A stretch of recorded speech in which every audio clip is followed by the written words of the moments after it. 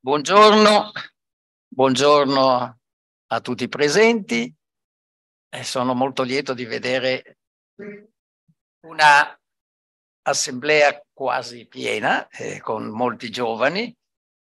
Dopo lunghi periodi di difficoltà, avere tutti qui assieme è veramente un piacere.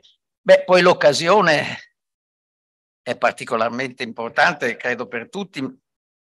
Il CNEL in particolare ringrazia la Presidente Casellati che non è la prima volta che viene da noi, anzi è già la, almeno la seconda occasione in cui viene al CNEL per una lezione magistralis. Eh, qualche anno fa eh, fu presente in questa sala eh, perché rievocavamo l'origine del CNEL, erano 60 anni di vita e cercavamo di mantenere questa istituzione in buona salute. E credo che il tema di oggi, io dico solo due parole, però devo dirle, eh, è particolarmente significativo eh, nel momento attuale, ma anche in prospettiva. Il CNEL poi è l'organismo istituzionale di rilievo costituzionale che rappresenta tutti i corpi intermedi e la società civile organizzata, come si usa dire. E non è una, una stranezza italiana, è presente in tutta Europa, con un'idea comune che c'entra con il titolo, cioè che la democrazia nei nostri paesi eh, non è solo la democrazia rappresentativa, ma viene arricchita e rafforzata dall'azione dei corpi intermedi che è un'azione, e questo è un punto che non è così chiaro che noi cerchiamo di sviluppare, che non è solo utile per analizzare i problemi economici e sociali, che pure sono il centro della nostra attività, ma è anche eh, necessaria proprio per eh, promuovere quelle riforme che sono necessarie al miglior funzionamento della democrazia stessa. Ecco, questa è l'idea di fondo eh, non semplicissima, eh, che nella storia recente italiana ha avuto molti, molte vicende eh, positive e qualche volta difficili e che poi anche a livello internazionale e mondiale è un tema non scontato, è un tema di, di grande impegno per tutti noi. Dico un'ultima cosa che serve anche per noi a riflettere su questo tema. Abbiamo, eh, come dicevo alla Presidente, eh, già in passato ho fatto una riflessione sul ruolo dei corpi intermedi, in particolare sul ruolo di coesione sociale.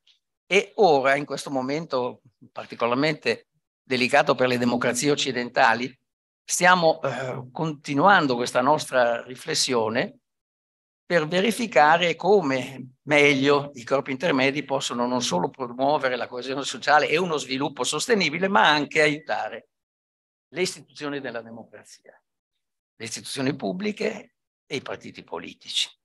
E questa è una ricerca in corso. E ho detto appunto ai colleghi qui presenti che daremo conto dei primi risultati e spero di avere ancora la Presidente tra di noi fra un mese o due. Allora, grazie, benvenuti di nuovo a tutti e a questo punto io mi taccio e ascolto. Grazie ancora, Presidente. Grazie.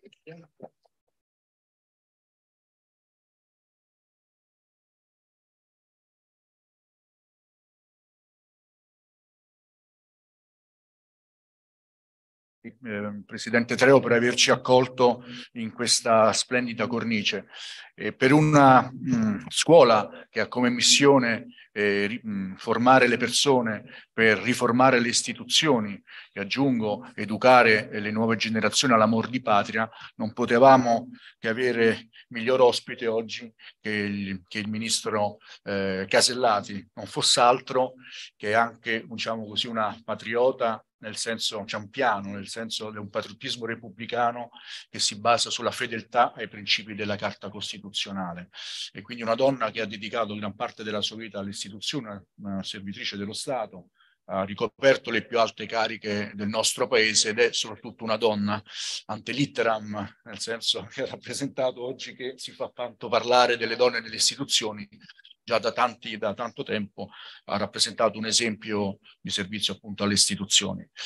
Come diceva il Presidente, il tema è un tema molto ambizioso che viene affrontato oggi, ma un tema veramente eh, spinoso e soprattutto in un contesto geopolitico mondiale dove si affrontano eh, autocrazie e democrazie, ma soprattutto modelli decisionali che sono alla base di questi regimi.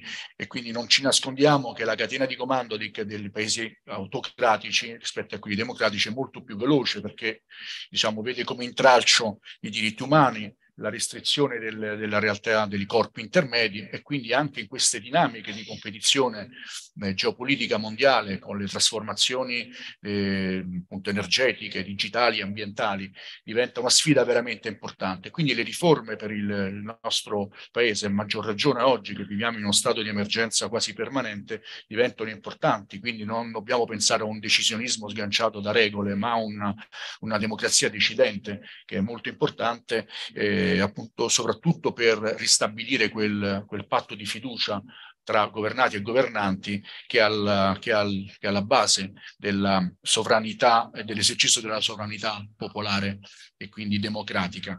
E quindi il tema della governabilità eh, nel nostro paese dal, dai 75 anni della nostra Costituzione si sono alternati circa 68 governi con una media molto ristretta e quindi la necessità di riformare le nostre istituzioni anche a livello costituzionale ma anche a livello di legge ordinaria appare eh, appunto una necessità eh, impellente. Concludo dicendo che l'altro tema, che è un tema che magari può essere visto solo in maniera tecnica, ma invece non lo è, è quello della semplificazione normativa. La qualità della eh, regolazione, la necessità della, della, di una certezza del diritto, non solo nella, nel caso singolo, ma ampio nel, nell'applicazione della legge nei confronti anche delle imprese, quindi ha un impatto molto determinante nello, per lo sviluppo economico, riguarda anche la possibilità per le imprese di effettuare quello che Max Weber definiva il calcolo del capitale, cioè di, di prevedere le conseguenze giuridiche di un certo investimento, di una certa attività imprenditoriale. Quando le norme sono confuse, quando le norme sono contraddittorie, quando non c'è un quadro giuridico certo, eh, questi costi, questi rischi legali vengono trasferiti sulle imprese imprese e, e peggio ancora quando investitori istituzionali eh, sono scoraggiati dall'investire perché si vedono magari modificare il quadro normativo in corso d'opera.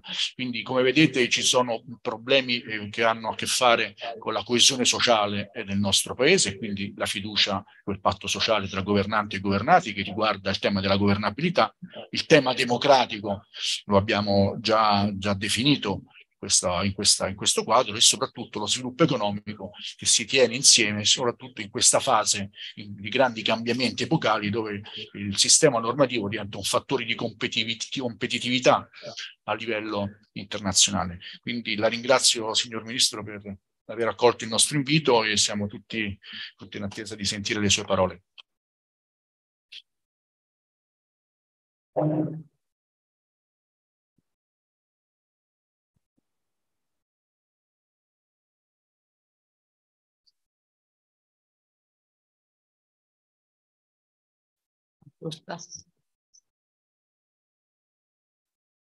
Buongiorno a tutti. Innanzitutto consentitemi di rivolgere un saluto e un ringraziamento al professor Tiziano Treu per averci ospitato in questa splendida sala.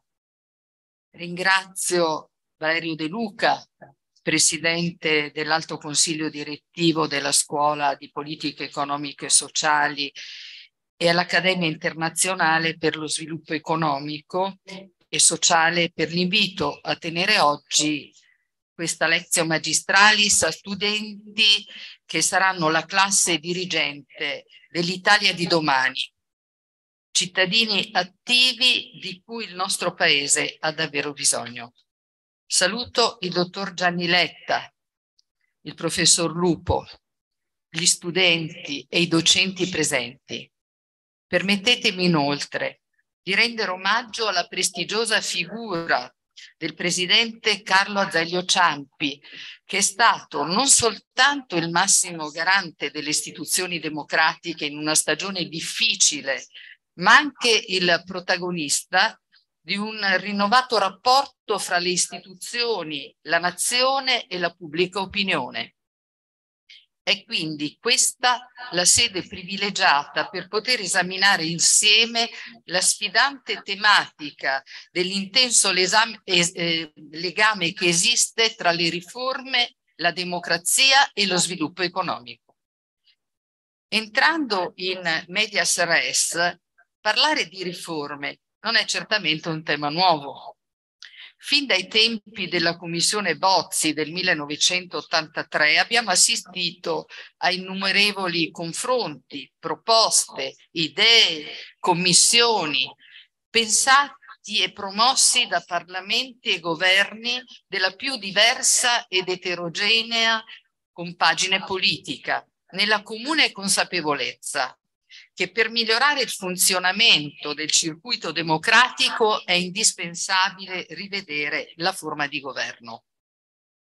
D'altronde, come scriveva ormai più di 40 anni fa Massimo Severo Giannini, mentre la prima parte della Costituzione è presbite, nel senso che guarda lontano nella definizione dei principi, la seconda è miope, in quanto al contrario è condizionata dall'epoca storica nella quale è stata scritta e pertanto deve poter essere modificata considerando i cambiamenti sociali, economici intervenuti nel corso del tempo. In questo senso, la seconda parte della Costituzione è stata considerata proprio dai, dai, padri costituenti non come un testo statico, ma come un testo dinamico. Del resto lo disse egregiamente Dossetti ai giovani quando scrisse non abbiate prevenzioni rispetto alla Costituzione del 48 solo perché è opera di una generazione ormai trascorsa, con le revisioni possibili e opportune può garantirvi effettivamente tutti i diritti e tutte le libertà a cui ragionevolmente potete aspirare. Ed allora devo dire che resto francamente stupita. Dopo decenni che sentiamo denunciare le debolezze del sistema politico istituzionale, dopo decenni che sentiamo invocare l'esigenza sua razionalizzazione.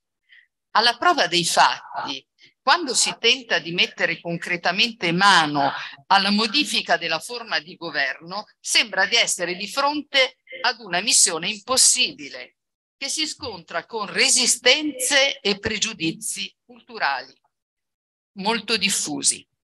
Resistenze che spesso hanno confuso la matrice storica della scelta per il parlamentarismo, antidoto contro ogni deriva autoritaria, con il volto reale del nostro ordinamento, che oggi è profondamente cambiato. Un volto plasmato dalla trasformazione del sistema partitico, dai cambiamenti della legge elettorale, dalle spinte all'integrazione europea, dal confronto con l'elezione diretta di sindaci e presidenti di regione. E allora di fronte alle tante obiezioni che hanno il sapore di una resa, io amo richiamare un aforisma che dice non mi interessa che sia difficile, mi interessa che ne valga la pena. Quindi la domanda per me a cui dobbiamo rispondere è vale la pena di modificare la forma di governo? Io ritengo di sì. Non lo dico solo io, lo dicono i dati, lo dicono i numeri. Lo diceva prima il presidente De Luca, che abbiamo avuto 68 governi in 75 anni con una durata media di 14 mesi. Registriamo dunque una forte fragilità degli esecutivi dovuta alla incapacità di esprimere nel lungo periodo un indirizzo politico stabile, duraturo e ciò ha determinato inevitabilmente gravi ripercussioni nei rapporti fra Stato, cittadini e istituzioni e conseguenze negative sulle imprese e quindi sullo sviluppo economico del nostro paese. proprio per quel discorso cui faceva cenno il presidente De Luca e ci siamo trovati a cambiare le regole in corsa, disorientando fortemente sia cittadini che, che imprese. Per questo sono fortemente determinata a intraprendere una riforma costituzionale che garantisca da un lato la stabilità e dall'altro restituisca centralità alla sovranità popolare. Questo è il perimetro. Una riforma che, come ha affermato il presidente Meloni, consenta all'Italia di passare da una democrazia interloquente ad una democrazia decidente, capace di guidare il Paese nelle sfide della transizione economica, digitale, ambientale e nelle dinamiche europee e internazionali e possa anche fornire una risposta ai riti trasformistici delle maggioranze parlamentari ondivaghe. La stabilità restituisce credibilità al nostro Paese e rafforza il sistema democratico. Questa ambizione richiede l'impegno di tutte le competenze organizzative e professionali a disposizione, presuppone un'ampia condivisione. È per questo che ho proceduto alla consultazione di tutte le forze politiche di maggioranza e di opposizione per raccogliere le principali criticità e prospettive di soluzione al fine proprio di giungere ad una decisione il più possibile partecipata. C'è poi la necessità di garantire un rapporto tra la comunità nazionale e i suoi rappresentanti, che passi attraverso meccanismi di elezione diretta dei vertici delle istituzioni, siano essi secondo il modello prescelto il Presidente della Repubblica o il Presidente del Consiglio.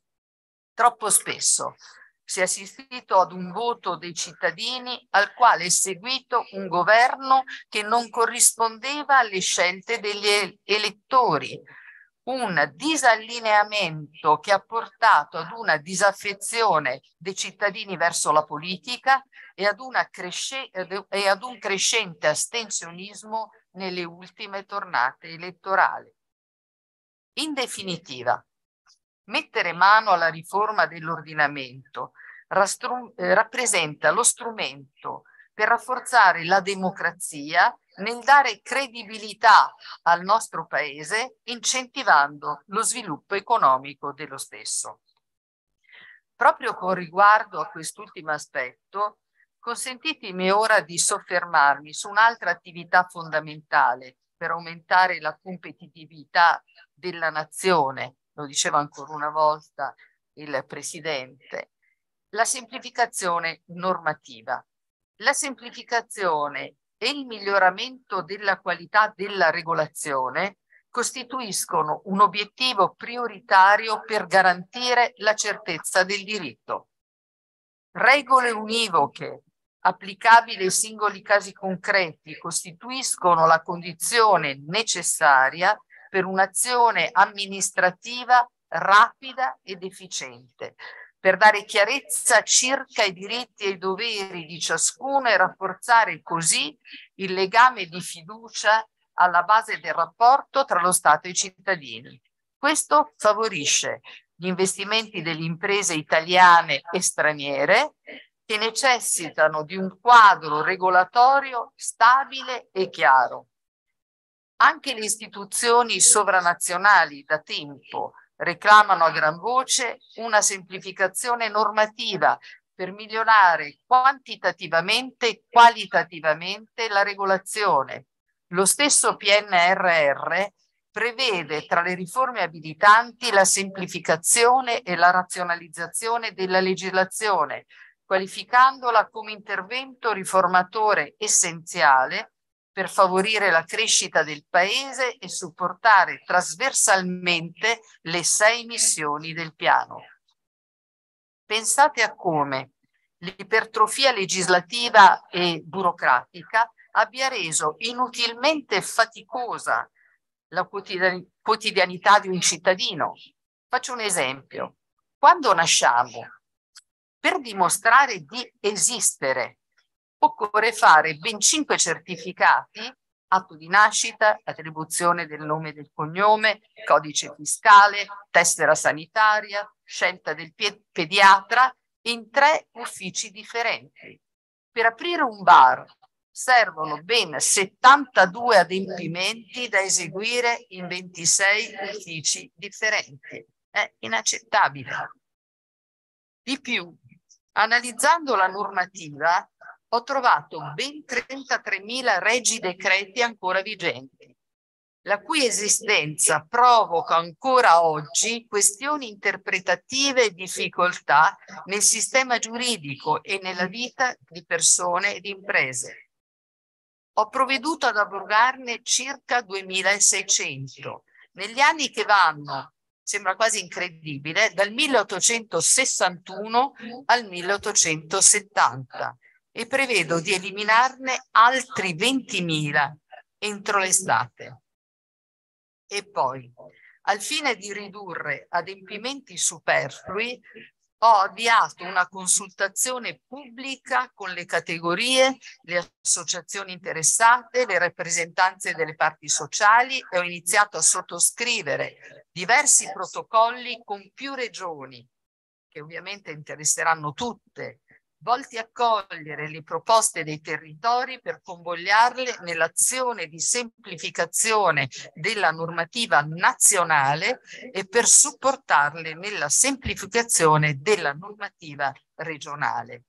Ho, coinvolto anche in un accordo di collaborazione il CNEL per introdurre semplificazioni pensate soprattutto per le categorie produttive e per i lavoratori.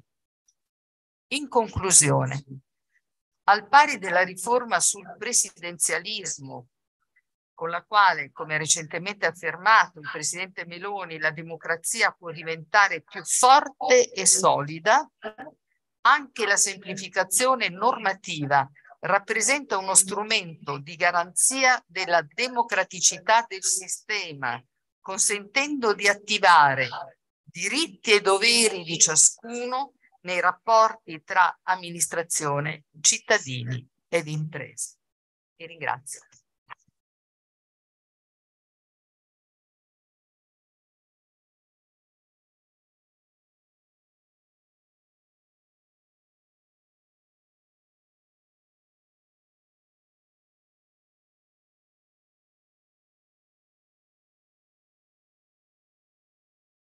Signor Ministro, per aver voluto condividere anche in questa sede, come ha già fatto con la società civile, con gli esponenti della società civile e dell'Accademia, queste importanti considerazioni e questa sua attività di lavoro e di proposte a livello istituzionale. Per noi è così importante il tema delle riforme che la prossima Lexio Magistralis sarà tenuta il 16 maggio da Mario Nava, che è il direttore generale della direzione generale della Commissione europea per le riforme.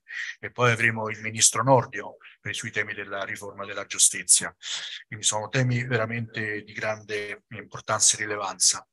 E adesso passerei nella diciamo, con le diciamo, tre domande che abbiamo programmato con i nostri studenti.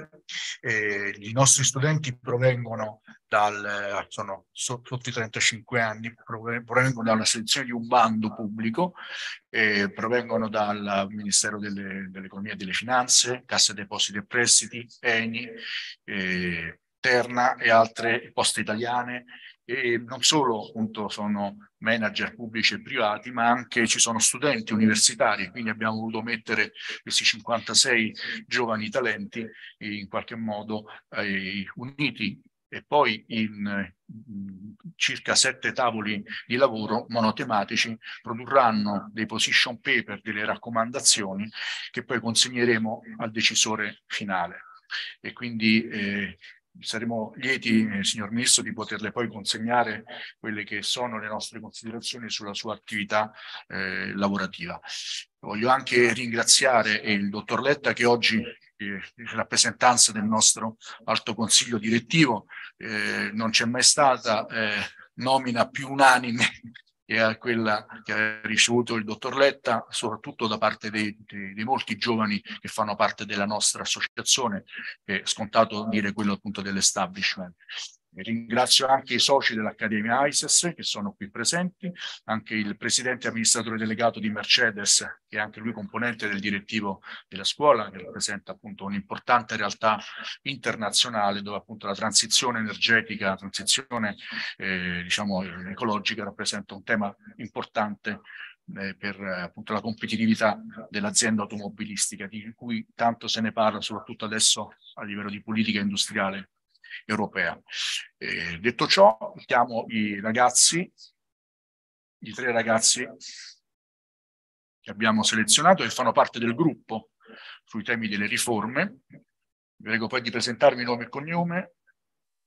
Prego. Aspettiamo che...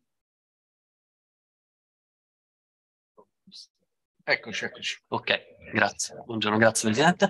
E ringrazio anche il Ministro per uh, questa lezione molto interessante e utilissima anche per il nostro lavoro. Io sono Armando De Crescenzo, sono uno studente spesso, come anticipato il Presidente, e lavoro attualmente al Ministero di Economia e Finanza e mi occupo di trattati contro la doppia imposizione fiscale e di negoziati internazionali. Avrei una domanda, eh, se possibile, per lei eh, perché come giustamente ha ricordato, sul piano delle riforme istituzionali una modifica della forma di governo non è certo un'operazione semplice.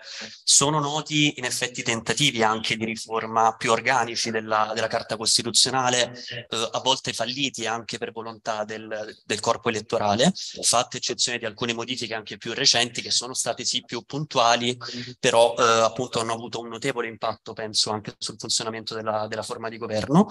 E eh, se l'obiettivo atteso, come giustamente ha ricordato lei, è quello di riavvicinare in effetti anche l'elettorato alle istituzioni e garantire una maggiore stabilità dell'esecutivo, mi chiedevo se il Ministero stesse valutando anche la possibilità, no, possibilità anche alternative, quindi non di modifica della Carta Costituzionale, ma intervenendo da un punto di vista di impianto di, di, impianto di normazione primaria le faccio un esempio, eh, non so, ad esempio intervenendo sulla legge 400 del 1988, che regola un po' il funzionamento anche del, dell'organo esecutivo, o per esempio sulla legislazione elettorale. E la ringrazio intanto.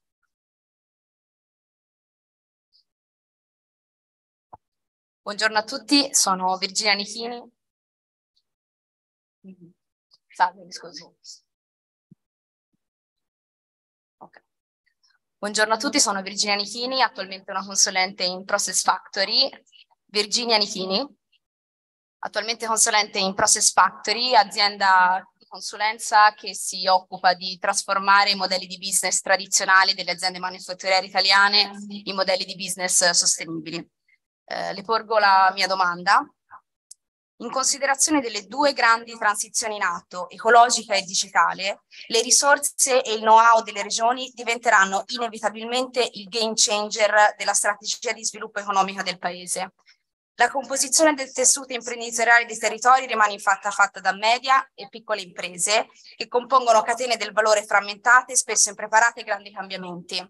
Per scongiurare una doppia transizione a più velocità regionale, per evitare che le imprese non riescano a tenere il passo con le trasformazioni in corso, potrebbe essere percorribile costruire una strategia condivisa di politica industriale coordinata ed elaborata con le stesse regioni? Grazie.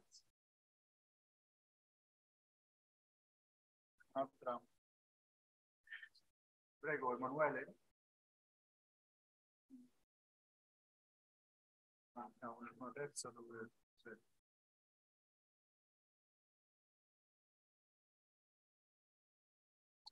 fuori. Sì, forse si trova. Intanto vuole rispondere a questo.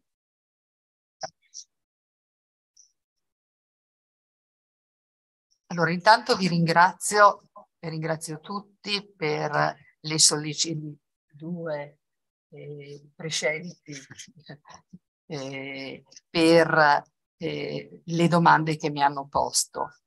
Perché vedete, è chiaro che ogni riforma, anche di carattere costituzionale, laddove andiamo a modificare la forma di governo, presuppone e delle modifiche anche rispetto alla legge ordinaria. Faceva esempio il dottor De Crescenzo alla legge, per esempio, elettorale o alcune modifiche e, e, che potrebbero riguardare e la struttura o anche la stessa esecuzione eh, di leggi costituzionali attraverso una legge ordinaria. Parliamo dell'autonomia differenziata. L'autonomia differenziata chiaramente una eh, eh, traduzione di una eh, legge eh, costituzionale con una norma ordinaria che variamente interesserà anche tutte le regioni. Quindi eh, il, quando noi andremo a scegliere la forma di governo, Diciamo che le consultazioni tra la maggioranza e l'opposizione sono ancora in corso perché la nostra proposta è una proposta aperta, nel senso che dicevo prima, noi abbiamo un perimetro entro il quale stiamo lavorando, e cioè da una parte la stabilità, perché è inaccettabile che un governo possa durare così poco, perché un imprenditore non, che per natura deve guardare avanti e progettare un proprio futuro, come fa a, eh, a, a, a trovarsi di fronte ad un governo e poi ad un altro che magari hanno una visione economica diversa. Ma lo stesso rapporto con le regioni diventa un rapporto debole perché le regioni vanno ad interfacciarsi sempre con un governo che cambia. Non è più possibile. Cioè, questo eh, incide fortemente sulla programmazione personale, su quella economica, sullo sviluppo del paese. Se noi andiamo a guardare le varie forme di governo, quelle tipiche, diciamo perché sono quelle sperimentate, dal presidenzialismo all'americana al semipresidenzialismo alla francese, che poi eh, alla francese ha un valore paradigmatico perché in realtà il semipresidenzialismo, così come previsto in Francia, è previsto in Romania e in Lituania, ma è previsto con diverse forme eh, di pesi e contrappesi tra potere del Presidente della Repubblica e eh, potere del Presidente del Consiglio in moltissime in moltissimi altri paesi europei come Portogallo, Irlanda, Finlandia, Austria, Polonia, Bulgaria, Croazia, Slovenia, Slovacchia, Repubblica Ceca.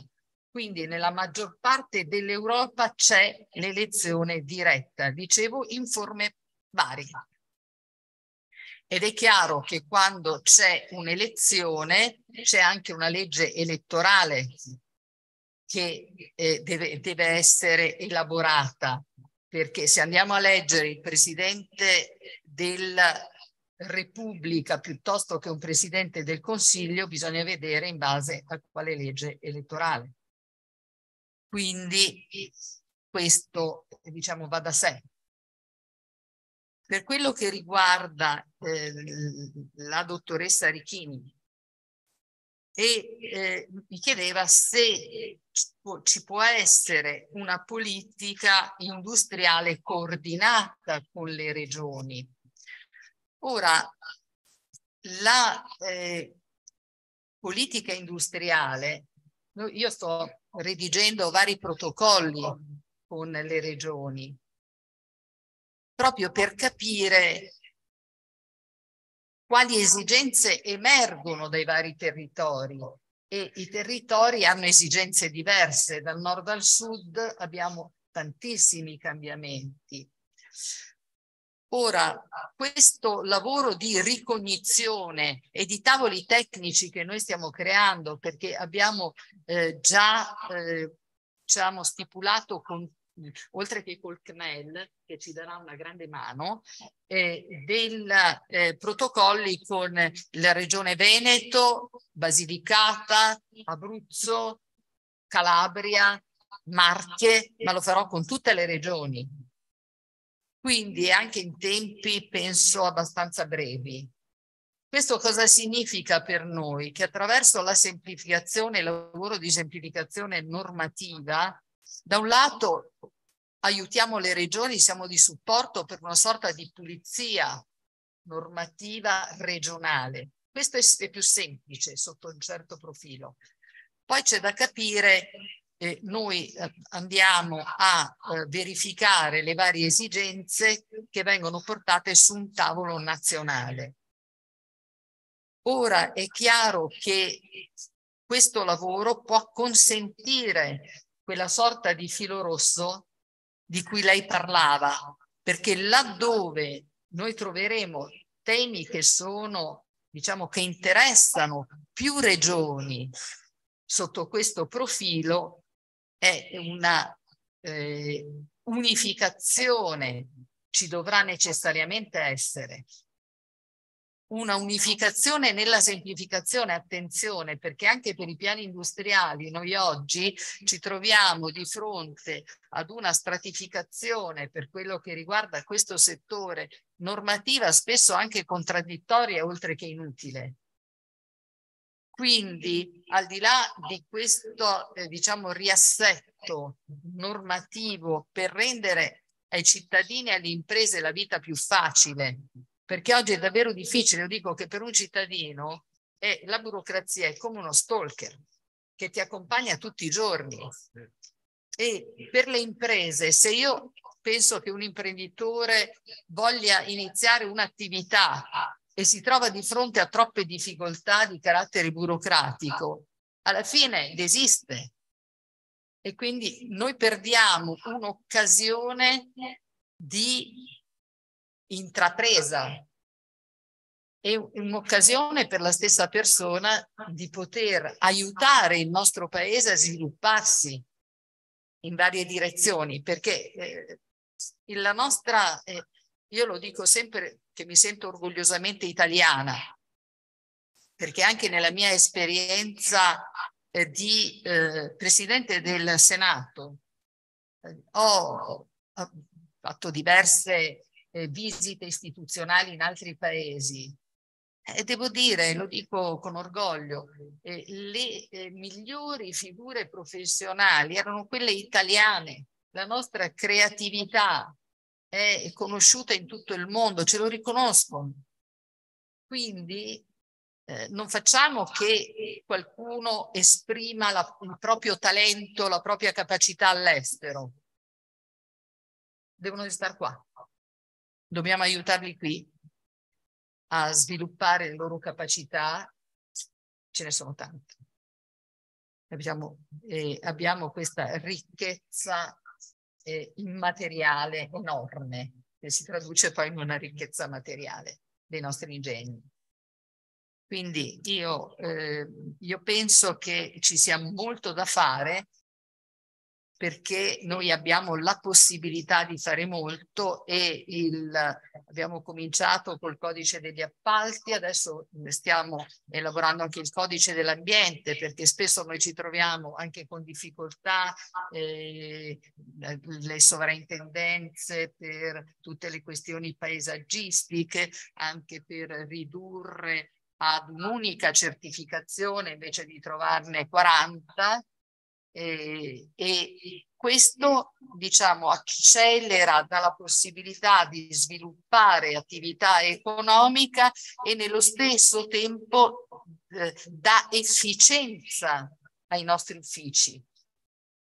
Per cui diciamo ci troviamo di fronte, ci troveremo poi di fronte non, al fatto di non vedere più la pubblica amministrazione come un nemico, ma eh, come una persona che ti accompagna e un ente che ti accompagna nella tua attività, che agevola la tua attività. Quindi progetti, i nostri progetti come Ministero sono tanti, anche se lavoriamo con non tantissime persone ancora, perché è un ministero nuovo che si sta formando, e eh, diciamo che abbiamo un codice dell'ambiente in collaborazione col Ministero dell'Ambiente, abbiamo collaborato anche alla semplificazione normativa per la produzione di energie rinnovabili per il PNRR, quindi laddove c'è da intervenire o ci richiedono una collaborazione, noi ci siamo sempre. Nel senso che il nostro Ministero, per quello che riguarda la semplificazione normativa, è trasversale a tutti i ministeri. Adesso sentivo eh, la dichiarazione per l'emergenza sulla, sulla siccità del eh, ministro Lollobrigida, il quale diceva dobbiamo dare mano alla semplificazione normativa perché ci siamo, se siamo sempre là. Laddove tocchiamo eh, attività, ministeri, aziende, persone, eh, il nostro freno a mano è sempre la burocrazia, gli adempimenti multipli superflui che non danno, come si diceva prima, certezza di diritti e doveri ai cittadini, che spesso non sanno quali uffici rivolgersi e soprattutto restituisce quel concetto che qualche volta sembra bandito dal vocabolario, che è il concetto di responsabilità. E quando uno si rivolge dice di chi è, chi è il responsabile e dice non sono io, vai dall'altro ufficio e l'altro ufficio e così di seguito si rimbalzano.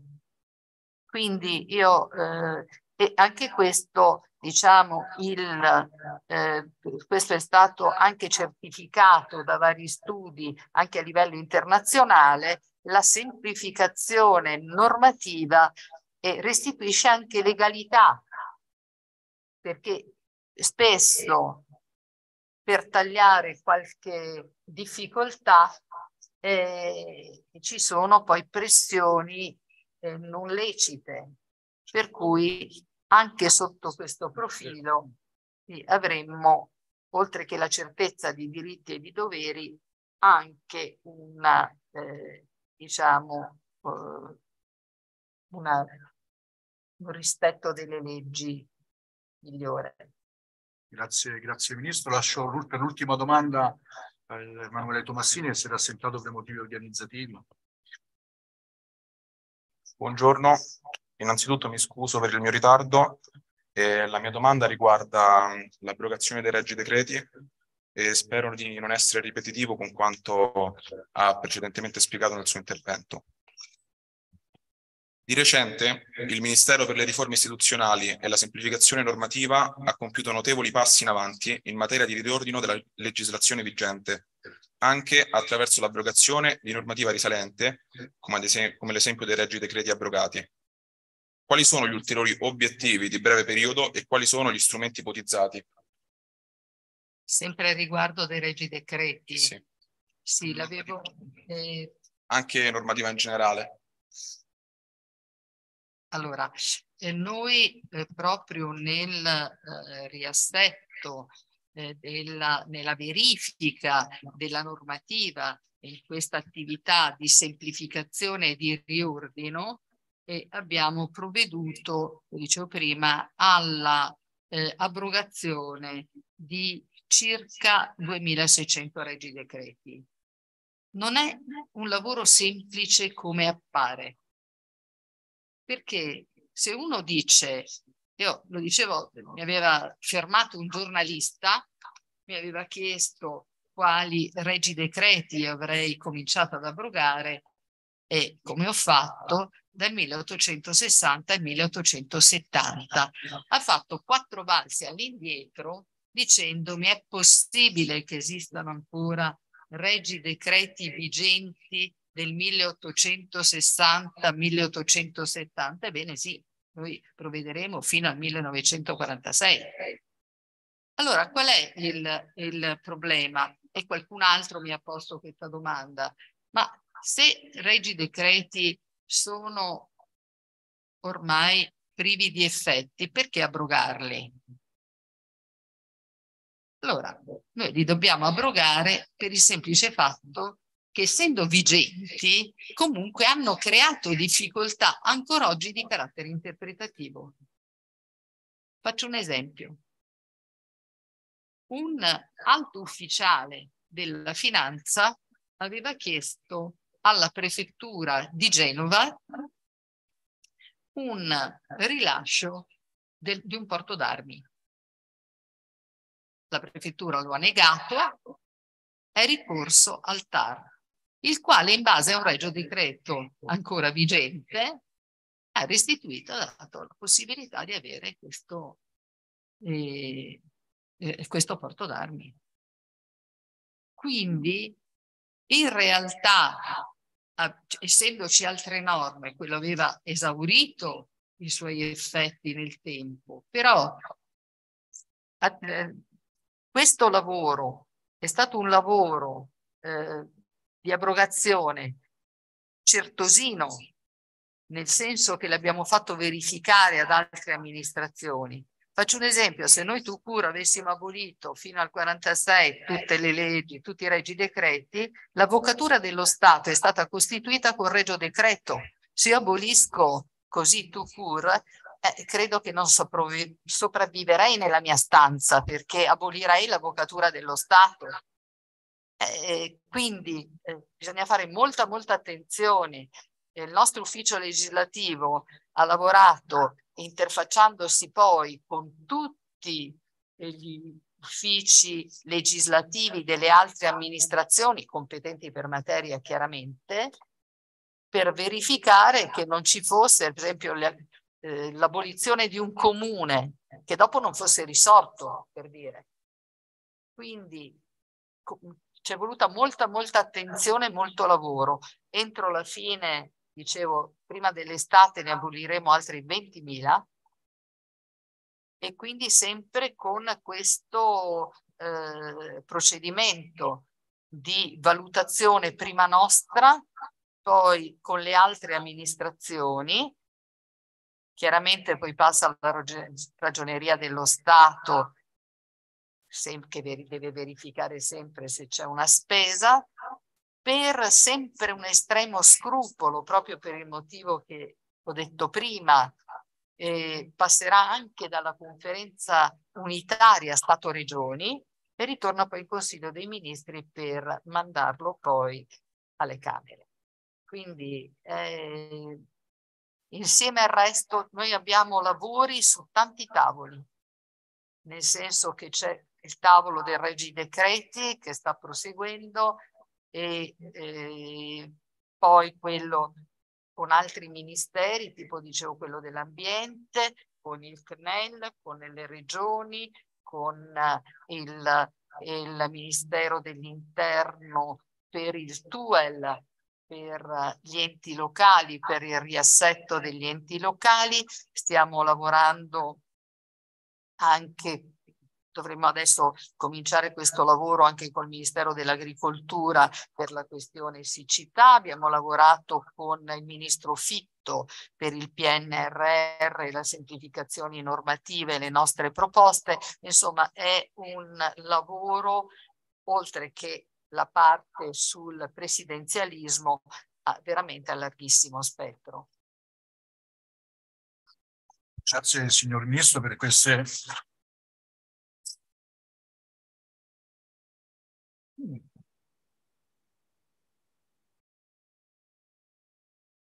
Ringrazio, dicevo, per queste risposte così esaustive e per un lavoro non solo interdisciplinare ma anche trasversale su più, su più appunto, attività di altri ministeri e abbiamo anche avuto piacere di notare anche la sensibilità da giurista, è una nota avvocatessa e quindi non solo esperta della macchina amministrativa ma anche insomma una fine giurista. E, ringrazio appunto i ragazzi che hanno così modo di essere ispirati dalle parole del ministro per un buon lavoro per i loro tavoli di lavoro.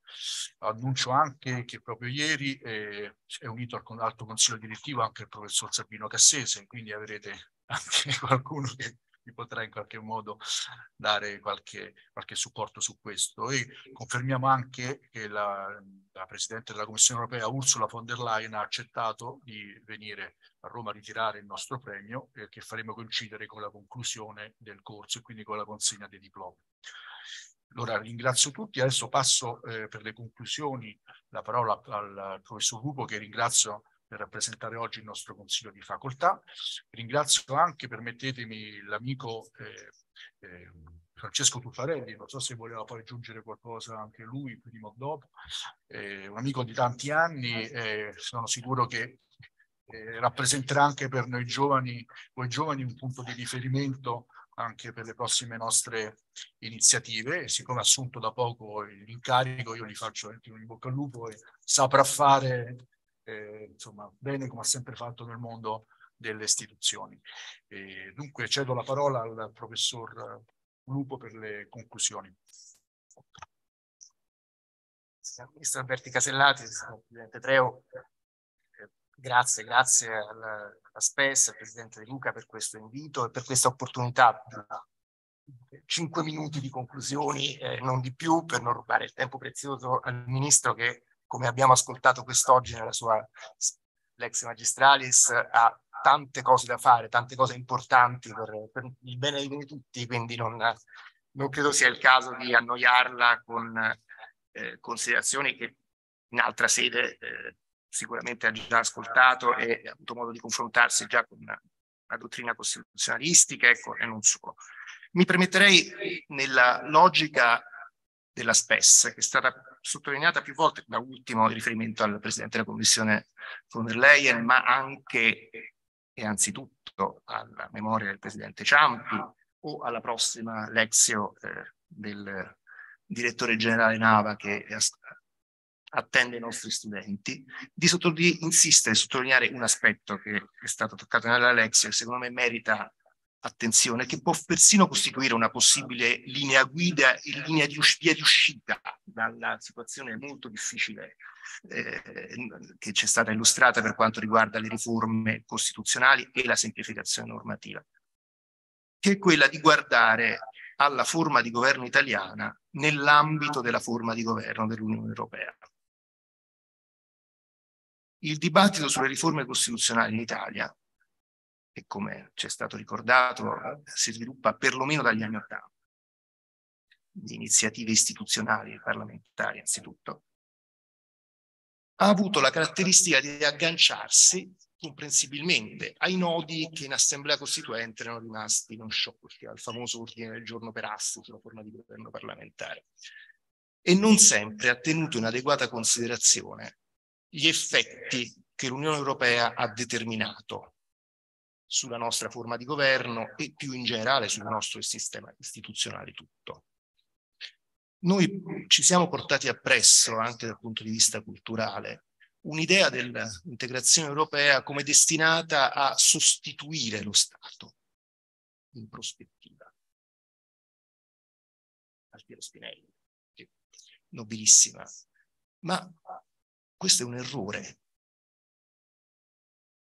perché l'Unione Europea, per come oggi e presumibilmente per come sarà nei decenni prossimi, non bypassa lo Stato. Non solo non bypassa lo Stato, non fa venire meno lo Stato, ma chiede a ciascuno Stato membro prestazioni ulteriori. I sistemi istituzionali di ciascuno Stato membro sono messi in qualche modo in competizione l'uno con l'altro dalle dinamiche dell'integrazione europea per come si sviluppano oggi. Per cui chi ha un sistema istituzionale, un sistema amministrativo meno funzionante è penalizzato sia perché non riesce a rappresentare, a negoziare l'interesse nazionale in sede europea, sia perché non riesce a implementare le politiche europee in modo adeguato.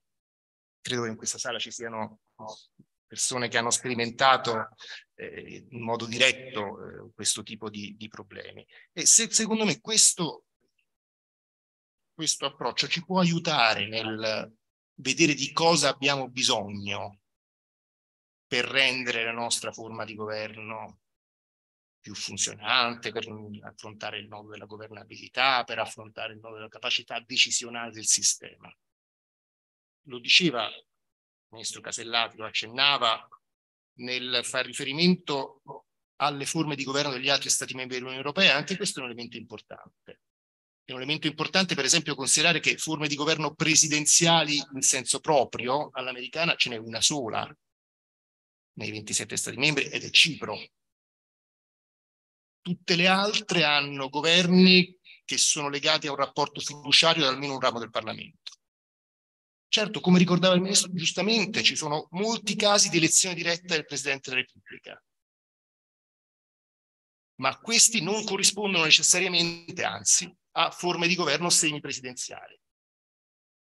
Esattamente, nel, nel Consiglio europeo vanno esclusivamente, oltre al Presidente della Repubblica francese, quello bulgaro, quello lituano e quello rumeno, almeno questa è la, la regola.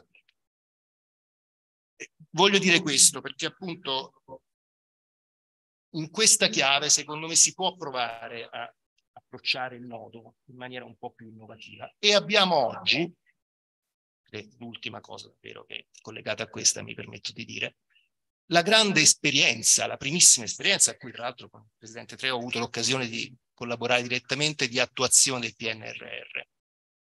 E mi sono andato convincendo in questo anno e mezzo di esperienza che ho svolto in Presidenza del Consiglio che il PNRR accentua ulteriormente questo tipo di dinamiche e delinea un metodo di governo nuovo. L'idea di avere un programma con scadenze predeterminate, entro le quali porre in essere riforme e realizzare investimenti. Fatemi porre l'accento rispetto a un dibattito pubblico che oggi è molto concentrato, giustamente, comprensibilmente per carità, sugli investimenti, ma sulla parte riforme. Siamo, è il tema di oggi, no? e, e vedere che si dice, il PNR era previsto che la legge quadro sulle disabilità dovesse essere approvata entro il 31 dicembre 2021 e quella legge in due mesi è stata approvata. O per arrivare a oggi, ieri, al 31 marzo, il codice degli appalti doveva essere in gazzetta ufficiale entro il 31 marzo del 2023, era stabilito così dal luglio 2021 e così è stato. Certo non basta, non basta perché bisogna vedere cosa c'è scritto nella legge quadro sulla disabilità e ovviamente a maggior ragione nel codice degli appalti. E questo lo si deve vedere, lo si vede in un costante confronto con la, del nostro governo con la Commissione europea. Questo è un qualcosa di nuovo, è nuovo nella tempistica, è nuovo nelle modalità di sviluppo.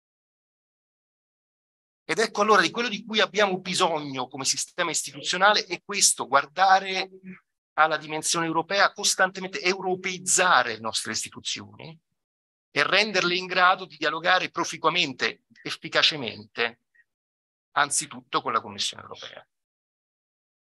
In questo, e chiudo davvero, trovo che la, l'abbinamento di competenze in capo al ministro Casellati, che è inedito, eh, di mettere insieme le riforme costituzionali e la semplificazione normativa sia molto proficuo se volete, gli stessi studenti, le domande, le sollecitazioni. E infatti è, bello, no? Io trovo quando, quando, c'è qualcosa di nuovo è sempre più interessante. No? Eh, non solo, anche per esempio nel, quanto riguarda il PNRR, anche l'abbinamento delle competenze in capo al ministro Fitto è estremamente interessante. Cioè l'idea in questa chiave di aver messo insieme gli affari europei, le politiche di coesione, il Sud e il PNRR e quindi di identificare un soggetto in capo al governo che accanto al Presidente del Consiglio ovviamente, ma ha la titolarità dell'interlocuzione con Bruxelles, è un elemento di grande novità, una sfida ovviamente, come tutte le novità. E anche, e devo dire, soprattutto le domande degli studenti che hanno sottolineato snodi non marginali, ma decisamente importanti del nostro sistema istituzionale, dimostrano a mio avviso come sia importante nel approntare quest'opera di riforma, tenere presente il ramo alto, eh, appunto la grande riforma, ma anche contemporaneamente anche gli altri rami del sistema istituzionale su cui l'intervento forse può essere più semplice. Buon lavoro, signor Ministro.